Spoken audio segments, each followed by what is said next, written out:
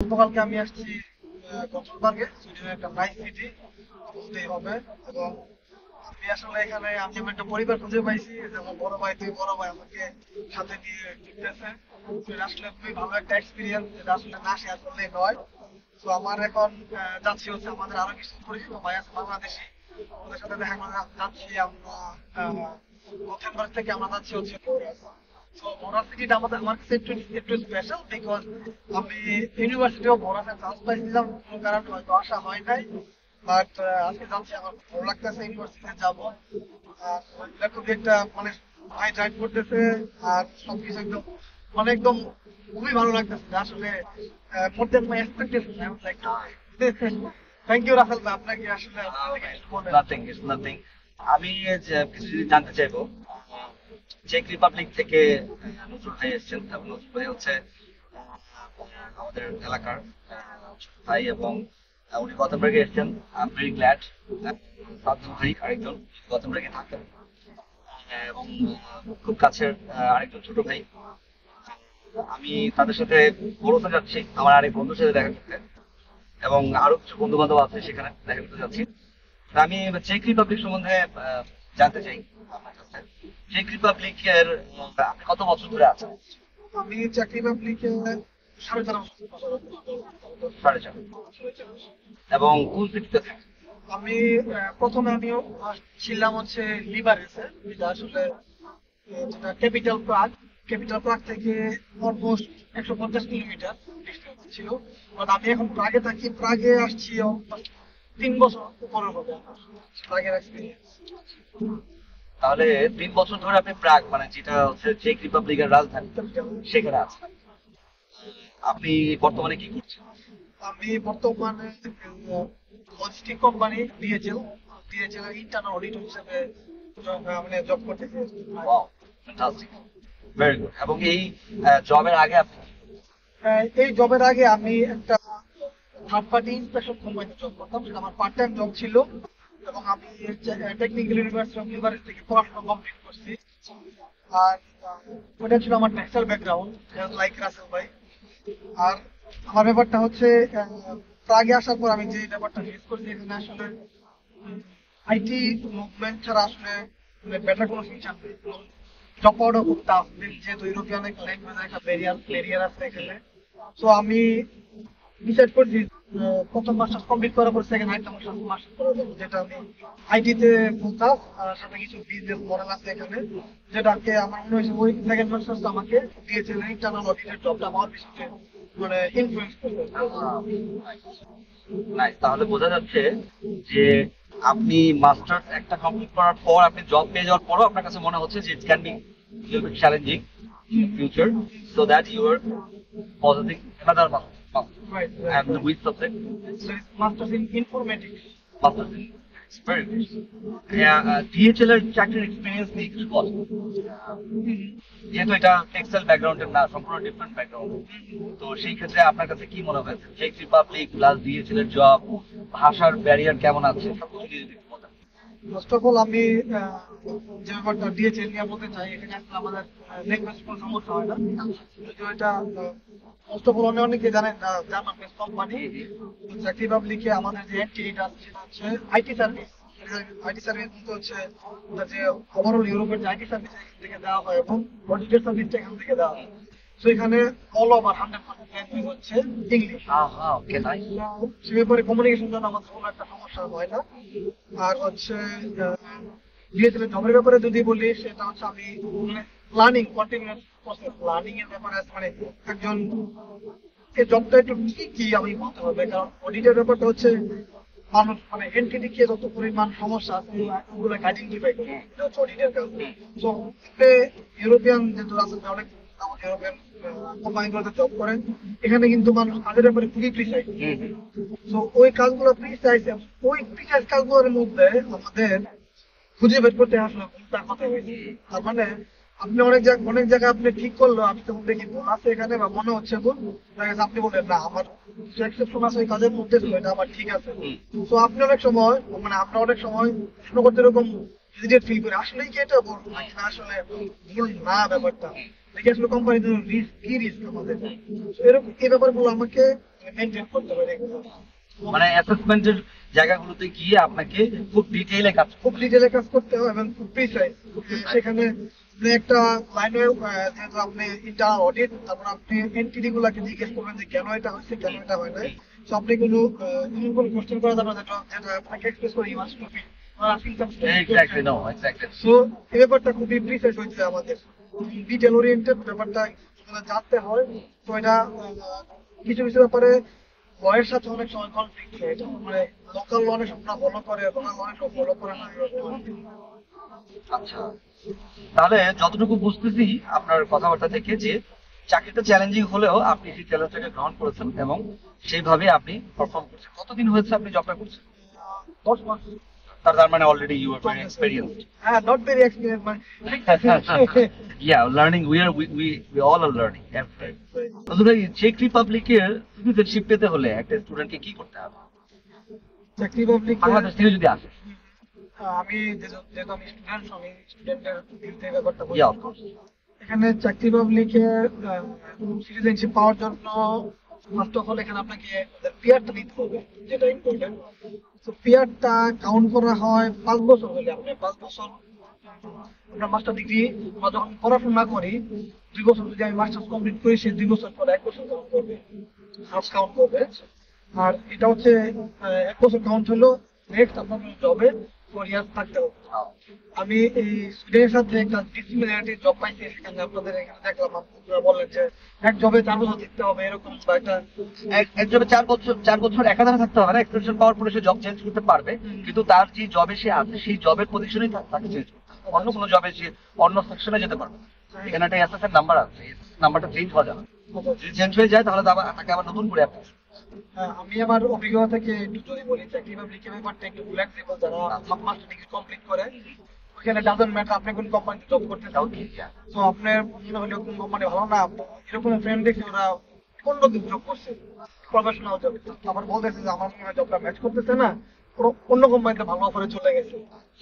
So এটা একটা আমি পজিটিভ বলব যে এখানে অনেকেই এটা নিয়ে এখানে আমি দেখি অনেক, এটা কি বলে অনেকে এই ব্যাপারটা নিয়ে আসছে যে আমি জব চেঞ্জ করব কি করব না বা পারব কি পারব না। ওইখানে এই সমস্যাটা বা এই ব্যারিয়ারটা আমি দেখতেছি আচ্ছা তার মানে এটা খুবই ভালো হয় স্টুডেন্টের জন্য। ফ্লেক্সিবল আছে অনেক। বাট এখানে কি মানে লেখাপড়াটা কমপ্লিট করতে হবে? এরকম কোনো বাধ্যবাধকতা আছে? লেখাপড়া কমপ্লিট করতে হবে এরকম বাধ্যবাধকতা নাই। বাট লেখাপড়া কমপ্লিট না করলে আপনাকে কিছু সমস্যা ফেস করতে হবে। যেমন আপনি চাইলে তখন জব চেঞ্জ করতে পারবেন। কোম্পানিকে আপনাকে স্পন্সর করতে হবে। ওকে যেটা যেটা কোম্পানিগুলো সাধারণত করে। Most of most of the time company করতে দেন যদি না আপনি high skill person for example কেউ একজন ডেভেলপার আসলো বা very good in IT IT hmm. সেক্ষেত্রে তো তাকে ইয়া করবে বাট দেখা গেছে যে আপনার মিডিয়াম লেভেল বা এন্ট্রি লেভেলের জবগুলোতে ওরা করতে চায় না। যদি সে স্টুডেন্ট না থাকে অথবা সে পড়াশোনা ছেড়ে দেয়।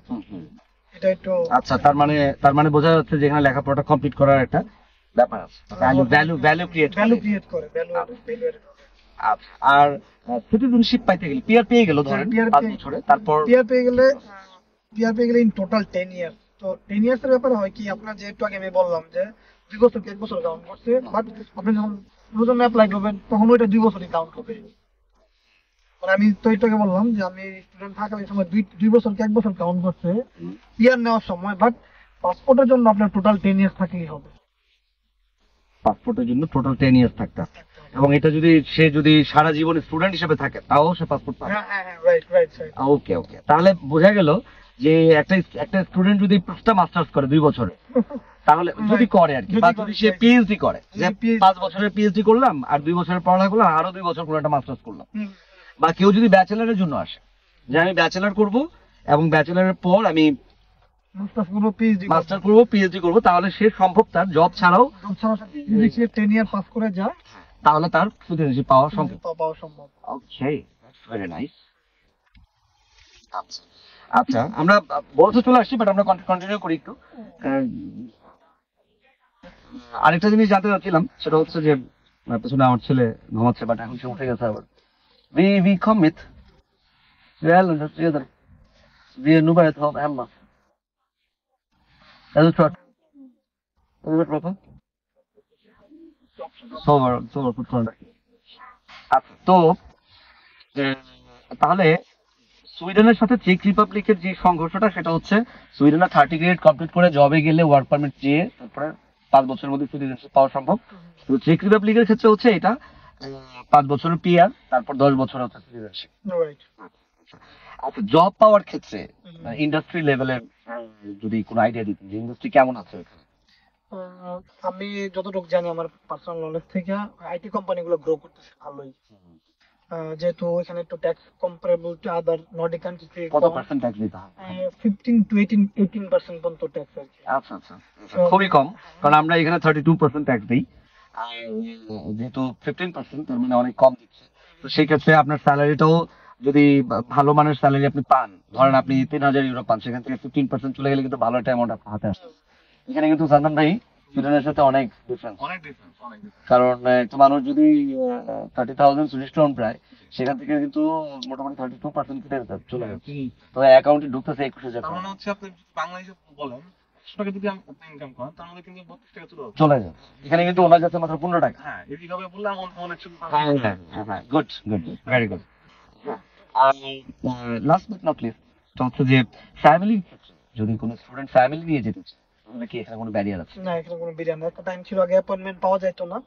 বাট এখন ফ্যামিলি ফ্যামিলির জন্য একটা আলাদা সেকশনই করা হয়েছে সো এটা এখন এখন মানে শিথিল আছে তাহলে কোনো স্টুডেন্ট যদি অ্যাডমিশন পায় তাহলে সাথে সাথে ওয়াইফ নিয়ে আসতে পারবে না বাট সেই প্রসেসের মধ্যে তার অ্যাকাউন্টে যদি মিনিমাম ওই টাকা টাকাটা থাকে ওই টাকাটা থাকলে সে ওয়াইফ নিয়ে আসতে। কত দিনের মধ্যে নিয়ে আহ, এটা আপনার ওভারঅল প্রসেসিং যদি বলি তো তিন থেকে চার মাসের মধ্যে সে তিন থেকে চার মাসের মধ্যে নিয়ে আসবে আসার পর। সে আসার পর তিন থেকে চার মাসের ভিতরে তার মানে খুব কুইকি ইভেন তো আপনি ব্যাপারটা এরকম তিন থেকে চার মাসে দুই আড়াই মাস মানে প্রসেসটা আপনার জানেন ইন্টারভিউ হয় হ্যাঁ ইন্টারভিউ ডিসিশন হয় তারপরে এই প্রসেসের মধ্যে তিন চার মাস মানে আমি বলব যে খুবই কুইক এটা। হ্যাঁ খুবই কুইক কিন্তু তাকে তো অবশ্যই সে দিল্লিতে যেতে হবে রাইট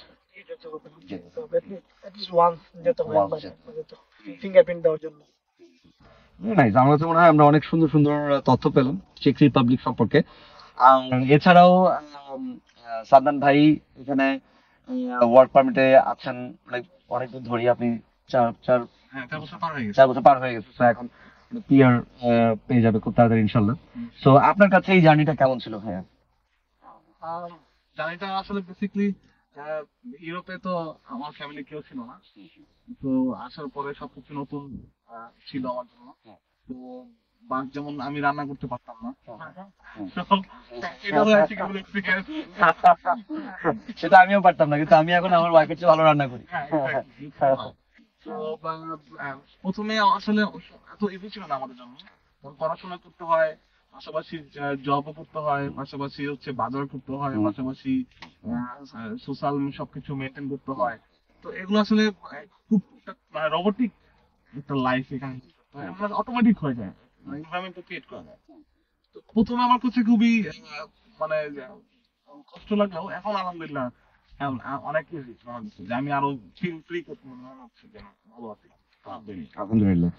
বাংলাদেশে গিয়েছেন এর মাঝখানে হ্যাঁ করোনা গেল যেতে পারিনি তারপর হচ্ছে চার বছর পরে গেছে। এই এটা একটা প্রশ্ন বিভিন্ন মানুষের কাছে যে এত দেরি করে করে ইউরোপের মানুষজন কেন এত দেরি করে করে বাংলাদেশে যেখানে- যেখানে ইউএস এর মানুষজন প্রত্যেক বছর একবার করে বাংলাদেশে যায়। ইউরোপে যারা থাকে তারা দেখা যায় দুই বছর তিন বছর চার বছর পরে একবার যায়। এটা এটা কি মনে হয় আপনার কাছে এটা হচ্ছে বেসিক্যালি ইউরোপের প্রত্যেকটা দেশেই তাদের নিজস্ব রুলস এন্ড রেগুলেশন আছে। এই জায়গায় বেসিক্যালি ইউরোপের বিষয়টা হচ্ছে এই জায়গায় সবকিছু লেন্থ প্রসেস মানে আপনি যে কোশ্চেন ভিসা অ্যাপ্লিকেশন বা কোনো কিছু করবেন একটু লেন্থ মানে এটা লেন্থি ডিসিশন হুম। তো ওই জন্য দেখা যাচ্ছে যে আমি স্টুডেন্ট ভিসা আসতেছি বা আমি আমার ওয়াইফ আসতেছে বা কোনো একটা কিছু চেঞ্জ হইলে সো সো জন্য আর কি লেন্দি প্রসেস হয়ে ব্যস্ততার ব্যাপারটা?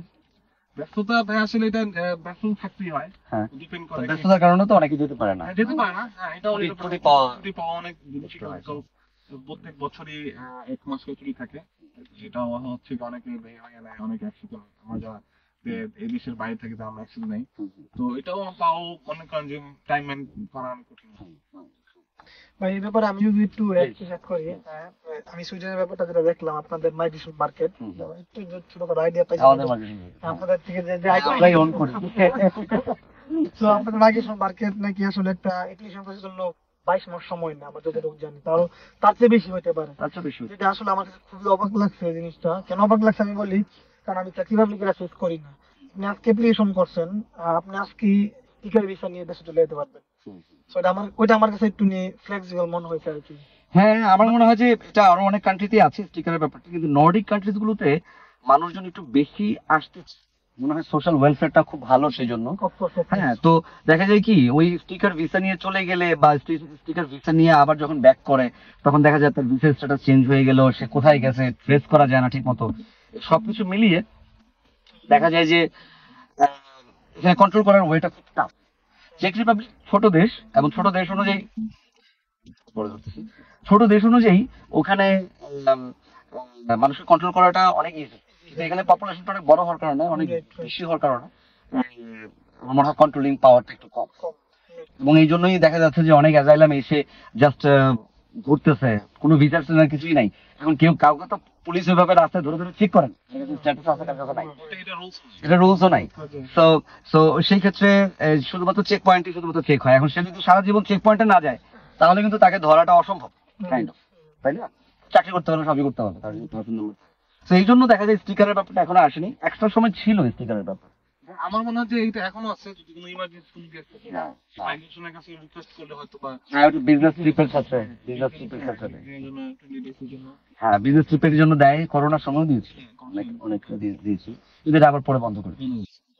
কারণ সেনজেন সোশ্যাল সিকিউরিটি বলা হয় সেনজেন সোশ্যাল সিকিউরিটি এসএসএস এই এসএসএস এটাকে কন্ট্রোল করে, কিন্তু নর্ডিক কান্ট্রিজের সেনজেনের ভেতরে যারা আসতেছে, তাদেরকে ইউরোপের বিভিন্ন জায়গা থেকে খুঁজে বের করা, এটা স্টুডেন্টের জন্য বা এই ধরনের কান্ট্রির জন্য কাইন্ড অফ ইম্পসিবল এটা হয়নি। বাট অনেক অনেক ধন্যবাদ। অনেক ইনফরমেশন জানলাম চেক রিপাবলিক সম্পর্কে। ভিডিওটা নজরুল ভাইয়ের ইয়েতেও যাবে আমার নর্ডিক নিকট দেওয়ার জন্য। সো দ্যাট অনেক অডিয়েন্স দেখতে পাইল তারা এটা এক্সপিরিয়েন্স নিল। আর ইনফরমেশন দরকার হয় দেওয়ার of course of course I would like to help people yeah of course আর যদি সুইডেনের ব্যাপারে কোনো ইনফরমেশন দরকার হয় এখানে কমেন্ট বক্সে শুধু করবেন আমার কিন্তু পাবেন ঠিক আছে সবাই ভালো থাকবেন সুস্থ থাকবেন। অনেক অনেক ধন্যবাদ আসসালামু আলাইকুম। আসসালামু আলাইকুম।